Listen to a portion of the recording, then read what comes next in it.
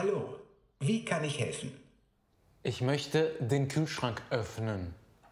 Konfuzius sagt, oft ist das, was du suchst, schon in dir. Wie bitte? Die Kühlschranköffnungszeiten sind von 11 Uhr bis 12.30 Uhr und 17 bis 19 Uhr. Intervallfasten aktiv. Ich brauche die Hafermilch. Status Hafermilch vorhanden. Ich brauche die Hafermilch für meinen Kaffee. Status Hafermilch vorhanden.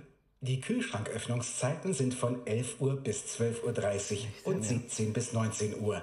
Intervallfasten aktiv.